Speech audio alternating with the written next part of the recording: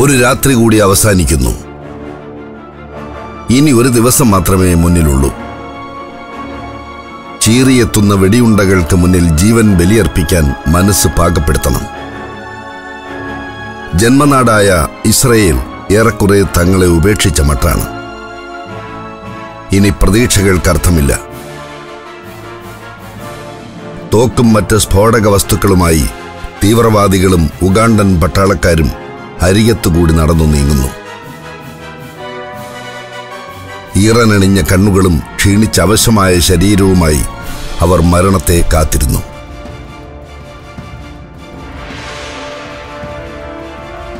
ഇതേ സമയം ഇസ്രയേലിൽ ബന്ദികളുടെ മോചനത്തിനായുള്ള ശ്രമങ്ങൾ ദ്രുതഗതിയിൽ നടന്നുകൊണ്ടിരുന്നു.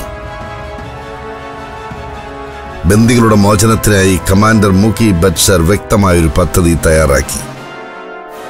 ആയിരത്തി തൊള്ളായിരത്തി എഴുപത്തിയാറ് ജൂലൈ ഒന്നിന് ഇസ്രയേലുകാരൊഴികെയുള്ള ബന്ദികളെ മോചിപ്പിച്ച് ഫ്രാൻസിലേക്ക് അയക്കുവാനുള്ള തീവ്രവാദികളുടെയും അമീന്റെയും തീരുമാനം ബെറ്റ്സറിന് മുന്നിൽ വീണുകിട്ടിയ പിടിവള്ളിയായി മാറി. തീവ്രവാദികളെക്കുറിച്ച് വ്യക്തമായ വിവരം നൽകാൻ മോചിപ്പിക്കപ്പെട്ടവർക്ക് സാധിക്കുമെന്ന് ബെറ്റ്സർ തിരിച്ചറിഞ്ഞു. ഇസ്രയേൽ ഇന്റലിജൻസ് വിഭാഗമായ മൊസാദിനെ ബെറ്റ്സർ വിവരമറിയിച്ചു. മൊസാദ് യാത്രികരെ ചോദ്യം ചെയ്തു. അത്യധികം ഭീതിജനകമായ നിമിഷങ്ങൾ ഓരോന്നായി ഓർത്തെടുത്ത് അവർ ഇസ്രയേലി സംഘത്തിന് മുന്നിൽ വിശദീകരിച്ചു.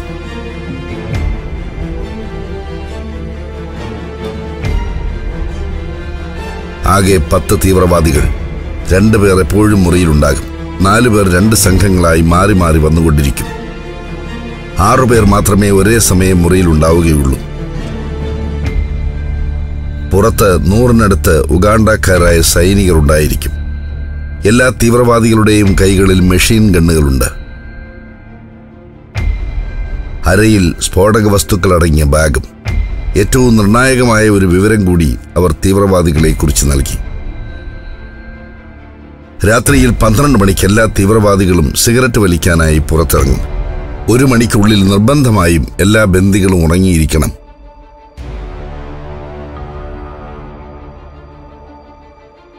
മൊസാദ് തീവ്രവാദികളുടെ ഛായാചിത്രങ്ങൾ മോചിപ്പിക്കപ്പെട്ട ബന്ദികളുടെ സഹായത്തോടെ തയ്യാറാക്കി. ഒപ്പം വ്യക്തമായ വിവരങ്ങളടങ്ങിയ ഫയൽ ഇസ്രയേൽ ഡിഫൻസ് ഓഫീസിലേക്ക് എത്തിച്ചു. കാര്യങ്ങൾ മുഖി ബെർസർ ഉദ്ദേശിച്ച ദിശയിലേക്ക് നീങ്ങി തുടങ്ങി. ബെർസറും സഹപ്രവർത്തകരായ യോണി നദന്യാഹുവും ജോഷ്വ ഷാനിയും ചേർന്ന് സൈനിക നീക്കത്തിനായുള്ള പദ്ധതിയുടെ രൂപരേഖ തയ്യാറാക്കുന്ന തിരക്കിലായി. ആദ്യം ഉഗാണ്ടയിലേക്കുള്ള യാത്ര. അമേരിക്കയുടെ കയ്യിൽ നിന്നും ഇസ്രയേൽ വാങ്ങിയ നാല് C one thirty Hercules transporter flight ദൗത്യത്തിനായി തിരഞ്ഞെടുത്തു. ഉഗാണ്ടയിലേക്ക് പ്രവേശിക്കണമെങ്കിൽ Egypt Saudi Arabia Sudan Kenya തുടങ്ങിയ രാജ്യങ്ങൾ താണ്ടണം. കെനിയ ഒഴികെ മറ്റെല്ലാ രാജ്യങ്ങളും ഇസ്രയേലിനെ ശത്രുപക്ഷത്ത് കാണുന്ന രാജ്യങ്ങളാണ്. അതിനാൽ ആ രാജ്യങ്ങളുടെ വൈമാനിക പാതകളിലൂടെ ഇസ്രയേൽ വിമാനങ്ങൾ പറത്തുവാൻ അവർ സമ്മതിക്കില്ല. പിന്നെ എങ്ങനെ ഈ രാജ്യങ്ങളെ മറികടക്കും? ജോഷ്വ ഷാനിയുടെ മനസ്സിൽ ഒരു പാത തെളിഞ്ഞു. ഈജിപ്തിന്റെയും സൗദി അറേബ്യയുടെയും സുഡാന്റെയും ഇടയിൽ കിടക്കുന്ന ചെങ്കടലിന് മുകളിലൂടെ കെനിയയിൽ പ്രവേശിച്ച് അവിടെ നിന്നും ഉഗാണ്ടയിലേക്ക് കടക്കണം. എൻഡബെ എയർപോർട്ടിന് പ്രധാനമായും രണ്ട് ഭാഗങ്ങളുണ്ട്. ആദ്യ ഭാഗം പഴയ ടെർമിനൽ. രണ്ട് ദശാംശം അഞ്ച് കിലോമീറ്റർ പടിഞ്ഞാറായി പുതിയ ടെർമിനലും ഉണ്ട് പഴയ ടെർമിനലിലെ കെട്ടിടത്തിലാണ് തീവ്രവാദികൾ ബന്ദികളെ പാർപ്പിച്ചിരിക്കുന്നത്. അതിനാൽ വിമാനങ്ങൾ ഇറക്കാൻ ഉചിതം പുതിയ ടെർമിനൽ തന്നെയാണ്. ചിലപ്പോൾ റൺവേയിൽ ലൈറ്റുകൾ ഉണ്ടാവില്ല. എങ്കിൽ റൺവേ മനസ്സിൽ പൂർണമായും നിശ്ചയിച്ചുറപ്പിച്ച ശേഷം വിമാനം ഇറക്കേണ്ടി വരും. അത്യധികം അപകടം പിടിച്ച ഘട്ടം. ഈ ദൗത്യത്തിന്റെ പൂർണ ഉത്തരവാദിത്വം പൈലറ്റായ ജോഷുവ ഷാനി ഏറ്റെടുത്തു. ഷാനി പറത്തുന്ന ആദ്യ വിമാനം റൺവേയിൽ ഇറക്കി ഏഴ് മിനിറ്റുകൾക്ക് ശേഷമേ മറ്റ് വിമാനങ്ങൾ ഇറക്കാൻ പാടുള്ളൂ. ഈ സമയത്തിനുള്ളിൽ തീവ്രവാദികളെ ആക്രമിച്ച് കീഴ്പ്പെടുത്തിയിരിക്കണം. ആദ്യ ഹെർക്കുലീസ് വിമാനം റൺവേയിൽ ഇറങ്ങിയാൽ ഉടൻ തന്നെ മുപ്പത് സൈനികർ ബന്ദികളെ പാർപ്പിച്ചിരിക്കുന്ന പഴയ ടെർമിനലിലെ കെട്ടിടത്തിന്റെ വാതിലുകളിൽ എത്തിയിരിക്കണം. നൂറിൽ പരം ഉഗാണ്ടൻ പട്ടാളക്കാരുടെ കണ്ണുവെട്ടിച്ച് ടെർമിനലിനുള്ളിൽ കടക്കുക അത്ര നിസ്സാര കാര്യമല്ല. പദ്ധതിയിലെ ഏറ്റവും നിർണായകമായ ആശയം മുഖി ബത്സറുടെ തലയിൽ ഉദിച്ചു. പഴയ ടെർമിനലിൽ നിന്നും പുതിയ ടെർമിനൽ വരെയുള്ള ദൂരം താണ്ടാനും ഉഗാണ്ടൻ സൈനികരെ പറ്റിക്കാനുമായി ഉഗാണ്ടൻ പ്രസിഡന്റ് ഇദി അമീന്റെ വാഹന വ്യൂഹത്തിന് സമാനമായി മറ്റൊന്നൊരുക്കണം വലിയ കറുത്ത മെഴ്സിഡസ് കാറുകളാണ് അക്കാലത്ത് ആഫ്രിക്കൻ ഭരണാധികാരികൾ ഉപയോഗിച്ചിരുന്നത്. ഒപ്പം സൈനിക ജീപ്പുകൾ എസ്കോർട്ട് ഉണ്ടാകും. അമീന്റെ വീഡിയോ ദൃശ്യങ്ങൾ പരിശോധിച്ച് വാഹനങ്ങളെ സംബന്ധിച്ച് വ്യക്തമായ ധാരണയുണ്ടാക്കി അതുപോലെയുള്ള കാറുകളും ജീപ്പുകളും തയ്യാറാക്കി.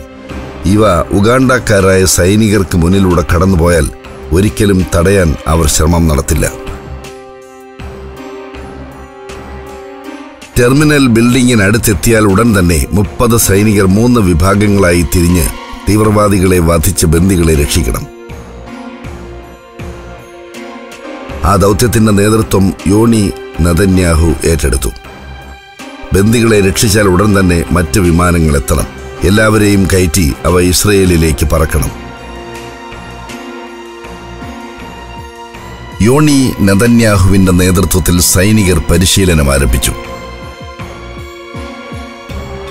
ഏറ്റവും കുറഞ്ഞ സമയത്തിനുള്ളിൽ തീവ്രവാദികളെ വകവരുത്തി ബന്ദികളെ മോചിപ്പിക്കുക എന്ന ലക്ഷ്യത്തോടെ.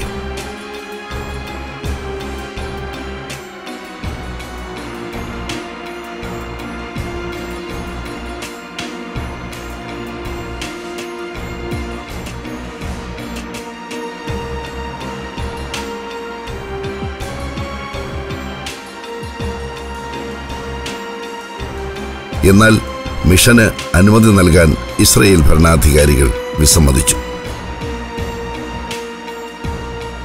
പ്രതിരോധ മന്ത്രി ഷിമോൻ പെരസിനെ ബോധ്യപ്പെടുത്താൻ ഒരു തവണ അദ്ദേഹത്തിന് മുന്നിൽ ഓപ്പറേഷൻ അവതരിപ്പിച്ചു.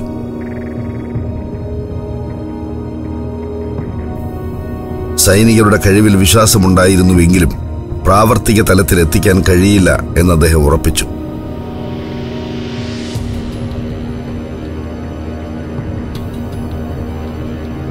അങ്ങനെ ഒരു ധാരണ ഷിമോൻ പെരസിനുണ്ടാകാൻ കാരണം ആയിരത്തി തൊള്ളായിരത്തി എഴുപത്തിനാലിൽ നടന്ന മാലോട്ട് ഭീകര ആക്രമണമായിരുന്നു ഇസ്രയേലിന്റെ വടക്കൻ പ്രദേശമായ മാലോട്ടിലെ ഒരു സ്കൂളിൽ democratic front for the liberation of the പാലസ്തീനിലെ തീവ്രവാദികൾ കടന്ന് നൂറ്റി അഞ്ച് കുട്ടികൾ ഉൾപ്പെടെ നൂറ്റി പതിനഞ്ച് പേരെ ബന്ദികളാക്കി.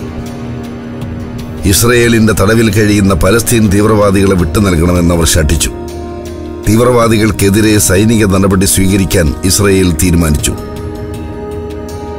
പക്ഷേ കാര്യങ്ങൾ ഉദ്ദേശിച്ച വിധം പ്രാവർത്തികമാക്കാൻ കഴിഞ്ഞില്ല. ഇസ്രയേൽ സൈന്യം ആക്രമണം തുടങ്ങിയ ഉടൻ ബന്ദികളാക്കിയ ഇരുപത്തിരണ്ട് കുട്ടികളെയും മൂന്ന് അധ്യാപകരെയും നിഷ്കരണം തീവ്രവാദികൾ വധിച്ചു.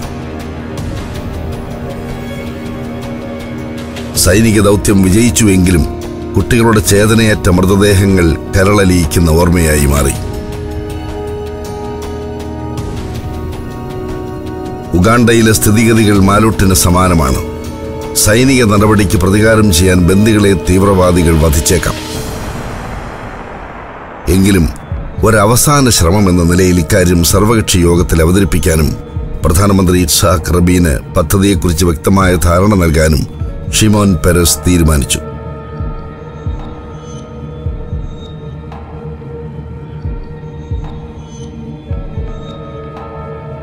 ഈ സമയം ഉഗാണ്ടയിൽ ചില അവിചാരിത സംഭവങ്ങൾ അരങ്ങേറി. തങ്ങളെ ആരും രക്ഷിക്കാനില്ല എന്ന തോന്നലിൽ കഴിയുകയായിരുന്നു ഇസ്രയേലി ബന്ദികൾ. കൂട്ടത്തിൽ ഏറ്റവും പ്രായം കൂടിയ ലോറ ബ്ലോക്കിന്റെ നില മോശമാകാൻ തുടങ്ങി. വാർദ്ധക്യ സഹജമായ രോഗങ്ങൾ വേട്ടയാടുന്ന ഡോറയെ ഉടൻ ആശുപത്രിയിൽ എത്തിക്കണമെന്ന് മകൻ ഇയാൻ ഹാറ്റു ആവശ്യപ്പെട്ടു. തീവ്രവാദികൾ ഉടൻ തന്നെ ഡോറ ബ്ലോക്കിനെ കമ്പാലയിലെ മുലാഗു ആശുപത്രിയിൽ എത്തിച്ചു. ഒപ്പം പോകാൻ ഇയാനെ അവർ അനുവദിച്ചില്ല. മരണം കൺമുന്നിൽ വാളോങ്ങി നിൽക്കുമ്പോൾ അമ്മയുടെ അസാന്നിധ്യം ആ മകനെ വല്ലാതെ വിഷമിപ്പിച്ചു.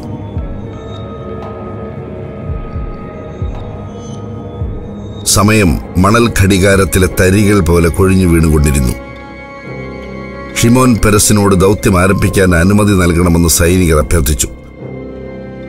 വൈകിട്ട് ആറ് മുപ്പതിന് നിശ്ചയിച്ചിരിക്കുന്ന സർവകക്ഷി യോഗത്തിലെ തീരുമാനത്തിന്റെ അടിസ്ഥാനത്തിലെ അന്തിമമായൊരു നടപടി എടുക്കാനാവൂ എന്നറിയിച്ച് ഷിമോൻ പ്രതിരോധിക്കാൻ ശ്രമം നടത്തി.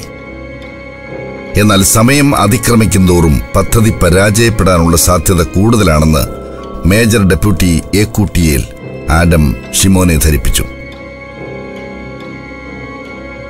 രാത്രി പന്ത്രണ്ട് മണിക്കുള്ളിൽ എൻഡബയിൽ സൈനികർക്ക് എത്താൻ സാധിച്ചാൽ മാത്രമേ തീവ്രവാദികളെ ഞെട്ടിച്ചുകൊണ്ട് ഒരാക്രമണം നടത്താൻ സാധിക്കൂ.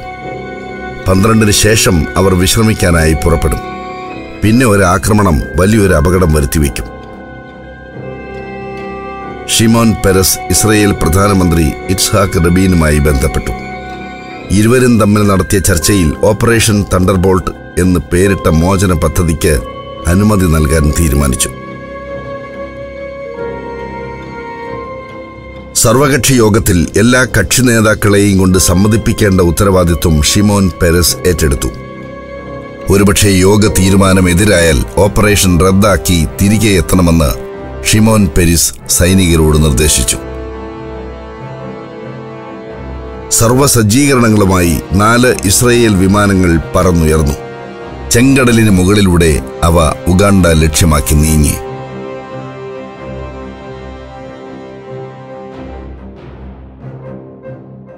സഫാരി പുറത്തിറക്കുന്ന ഡി വി ഡികൾ പെൻഡ്രൈവുകൾ പുസ്തകങ്ങൾ ടീഷർട്ടുകൾ ബാഗുകൾ കീചെയിനുകൾ തുടങ്ങി വൈവിധ്യമാർന്ന എല്ലാ പ്രോഡക്റ്റുകളും ആവശ്യാനുസരണം നിങ്ങളുടെ വീടുകളിലെത്തുന്നു. കൂടുതൽ വിവരങ്ങൾക്കും പ്രോഡക്റ്റുകൾ ബുക്ക് ചെയ്യുന്നതിനും എസ് പി എന്ന് എസ് എം എസ് ചെയ്യുക. Phone triple nine five triple four triple two S P എന്നീ രണ്ടക്ഷരങ്ങൾ മാത്രം ജോഷ്വ ഷാനി എന്ന സൈനിക പൈലറ്റാണ് ആദ്യ വിമാനം പറത്തിയത്. യാത്രയുടെ പൂർണ ചുമതല ഷാനിയുടെ ചുമലിലായിരുന്നു. ഷാനിയുടെ വിമാനത്തിൽ മുപ്പത് പേരടങ്ങുന്ന സൈനികർ കമാൻഡോ മുക്കി ബെറ്റ്സറുടെ നേതൃത്വത്തിൽ പോരാട്ടത്തിനുള്ള തയ്യാറെടുപ്പുകൾ നടത്തിക്കൊണ്ടിരുന്നു. പത്തുപേരടങ്ങുന്ന മൂന്ന് സംഘമായി ഏഴ് വാതിലുകളുള്ള ടെർമിനൽ ബിൽഡിംഗിലെ ആദ്യ മൂന്ന് വാതിലുകളിൽ ആക്രമണം നടത്തണം. മൂന്നാമത്തെ വാതിലിനുള്ളിലാണ് ബന്ദികളെ പാർപ്പിച്ചിരിക്കുന്നത്. അതിനാൽ അവിടത്തെ ആക്രമണം ശ്രദ്ധയോടെ മാത്രമേ പാടുള്ളൂ. ചെറിയൊരു അശ്രദ്ധ മലോട്ടിലെ ദുരന്തം ആവർത്തിക്കാൻ ഇടയാക്കും. ആയതിനാൽ ദൗത്യത്തിൽ പങ്കെടുക്കുന്ന ഓരോ സൈനികനും തീവ്രവാദികളുടെ മുഖം മനസ്സിൽ പതിപ്പിക്കാനുള്ള ശ്രമം ആരംഭിച്ചു. തമ്മിൽ തമ്മിൽ ഓരോ തീവ്രവാദിയുടെയും പ്രത്യേകതകൾ പറഞ്ഞു പഠിച്ച് ദൗത്യത്തിൽ പരാജയത്തിന്റെ പഴുതടയ്ക്കാൻ ശ്രമം നടത്തി.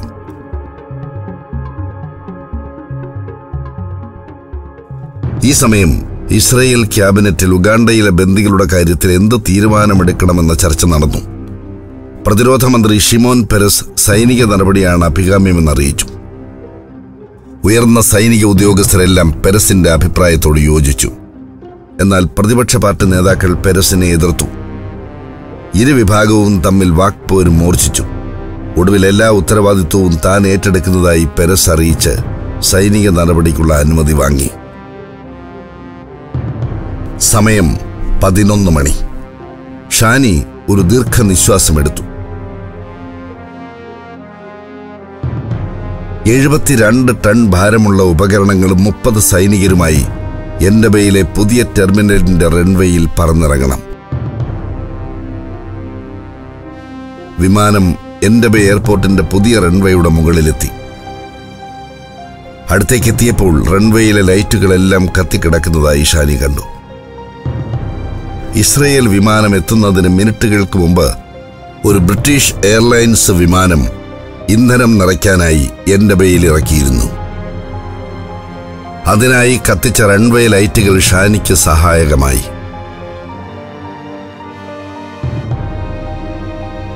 റഡാർ സംവിധാനങ്ങളെ കബളിപ്പിക്കാൻ പോന്ന സാങ്കേതിക സംവിധാനങ്ങൾ ഇസ്രയേൽ വിമാനങ്ങളിൽ ഒരുക്കിയിരുന്നതിനാൽ വിമാനം ആരുടെയും ശ്രദ്ധയിൽപ്പെടാതെ റൺവേയിൽ ഇറക്കാൻ ഷാനിക്ക് സാധിച്ചു.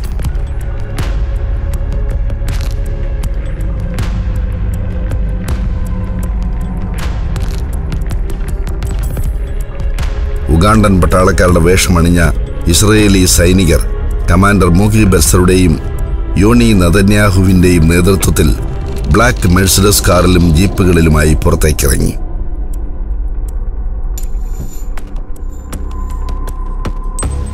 ശരവേഗത്തിൽ പഴയ ടെർമിനലിലേക്ക് വാഹനങ്ങൾ പാഞ്ഞു.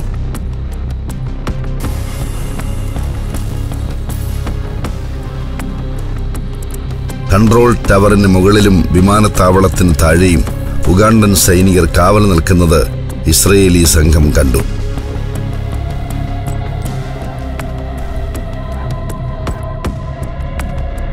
ഉഗാണ്ടൻ പ്രസിഡന്റ് ഇദിയമീൻ അമീൻ ദാദയുടെ വാഹന വ്യൂഹം കടന്നു വരുന്നതായി ഉഗാണ്ടൻ സൈനികർ ആദ്യം തെറ്റിദ്ധരിച്ചു.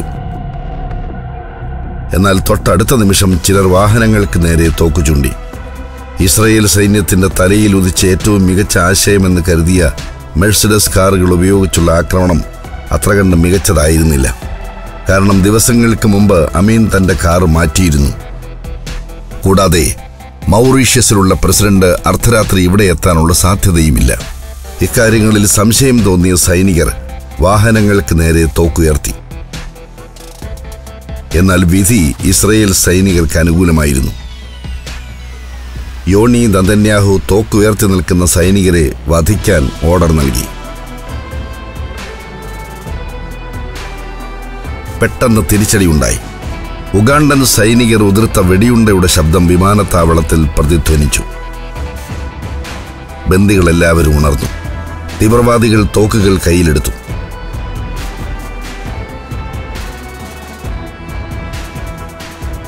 മുൻ നിശ്ചയിച്ച പ്രകാരം ഇസ്രയേൽ സംഘം വെടി ഉതിർത്തുകൊണ്ട് കെട്ടിടത്തിന്റെ വാതിലുകൾ കരിയിലേക്ക് ഓടിയെടുത്തു.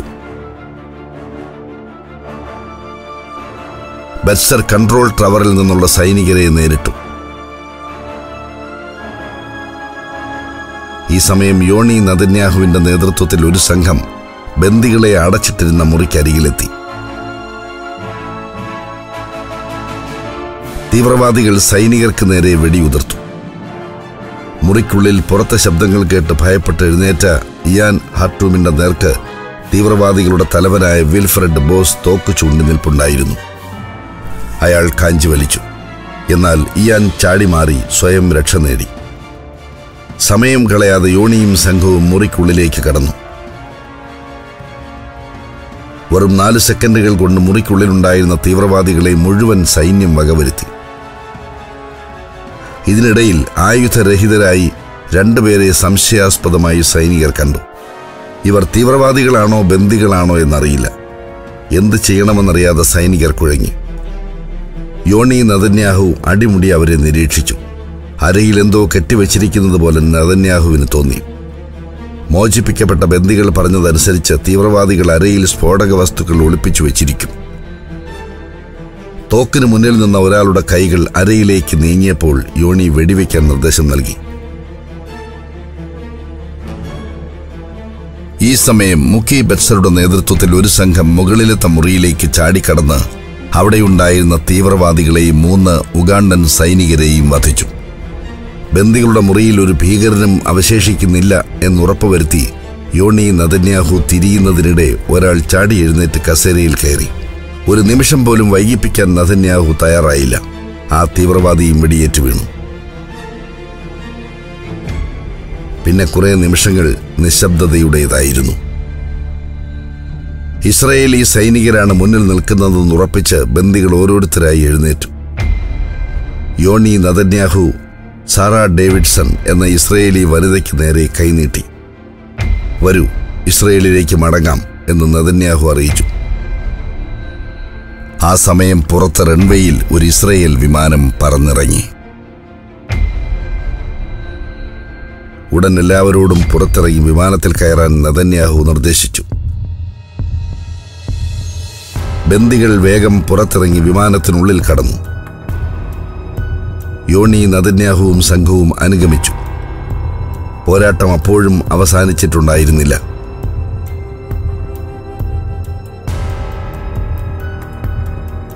കൺട്രോൾ ടവറിന് മുകളിൽ നിന്നും വെടി ഉതിർന്നു. വെടിയുണ്ടകൾ കമാൻഡർ യോണി നദന്യാഹുവിന്റെ ശരീരത്തിലേക്ക് തുളച്ചു കയറി.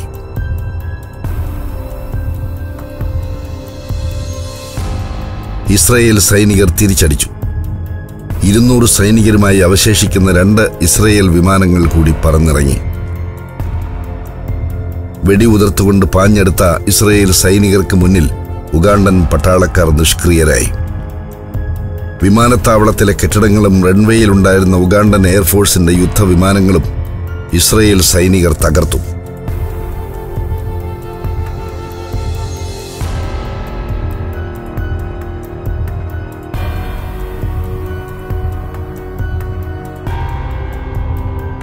ബന്ദികളെ മുഴുവൻ കയറ്റി പതിനഞ്ച് മിനിറ്റ് മാത്രം നീണ്ട പോരാട്ടങ്ങൾ അവസാനിപ്പിച്ച് വിമാനങ്ങൾ റൺവേയിൽ നിന്നും പറന്നുയർന്നു. അപ്പോഴും ഒരു മുഖം മാത്രം മ്ലാനമായിരുന്നു. ഇയാൻ ഹാർട്ടുവിന്റെ തന്റെ അമ്മ ഉഗാണ്ടയിലെ ഏതോ ആശുപത്രിയിൽ അകപ്പെട്ടിരിക്കുകയാണെന്ന് അയാൾ സൈനികരെ അറിയിച്ചിരുന്നു. അവരെ രക്ഷിക്കുക സാധ്യമല്ലെന്ന് സൈനികർ ഹാർട്ടൂമിനെ ധരിപ്പിച്ചു. അമ്മയ്ക്കൊന്നും സംഭവിക്കരുതേ എന്ന പ്രാർത്ഥനയിൽ ഇയാൻ യാത്രയായി. ഈ സമയം ഉഗാണ്ടൻ സൈനികരുടെ വെടിയേറ്റ ഇസ്രയേൽ കമാൻഡർ യോണി നെതന്യാഹു മരണപ്പെട്ടു.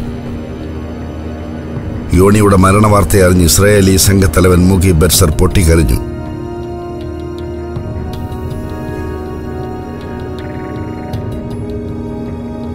ഇസ്രയേലി സൈനികർ ബന്ദികളെ മോചിപ്പിച്ച് നാട്ടിലേക്ക് മടങ്ങുന്നു എന്ന വാർത്ത ഭരണകർത്താക്കളെ അറിയിച്ചു. ടെല്ലവീവിലെ ബെൻ ഗൂറിയോൺ എയർപോർട്ടിലേക്ക് ജനങ്ങൾ ഒഴുകിയെത്തി. വിമാനങ്ങളിൽ നിന്നും പുറത്തിറങ്ങിയ യാത്രികർ തങ്ങളുടെ ബന്ധുജനങ്ങളെ കെട്ടിപ്പുണർന്ന് സന്തോഷം പങ്കുവച്ചു.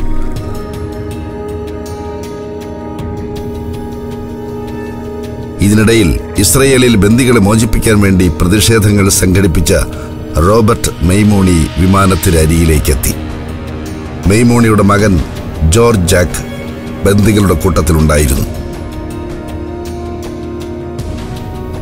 മകനെ കാത്തുനിന്ന മെയ്മോണിക്ക് മുന്നിൽ ജോർജ് ജാക്കിന്റെ മൃതദേഹമാണ് എത്തിയത് പോരാട്ടങ്ങൾക്കിടെ തീവ്രവാദി എന്ന് തെറ്റിദ്ധരിച്ച് ജോർജ് ജാക്കിന്റെ നേർക്ക് സൈനികർ നിറയൊഴിക്കുകയായിരുന്നു. മകന്റെ മരണമറിഞ്ഞ് വികാരാധീനനായ പിതാവ് പൊട്ടിത്തെറിച്ചു. ഇസ്രയേലി സൈനികർ അയാളെ ആശ്വസിപ്പിക്കാൻ ശ്രമിച്ചു.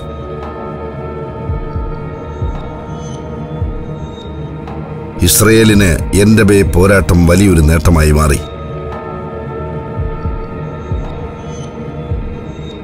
യോണി നദന്യാഹുവിനും ജോർജ് ജാക്ക് മെയ്മോണിനും നിത്യശാന്തി നേർന്ന ലോകം ഇസ്രയേലിന്റെ വിജയത്തിൽ പങ്കുചേർന്നു.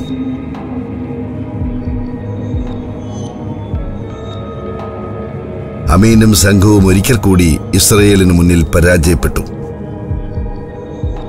അമീന്റെ പതനം ആരംഭിക്കുകയായിരുന്നു.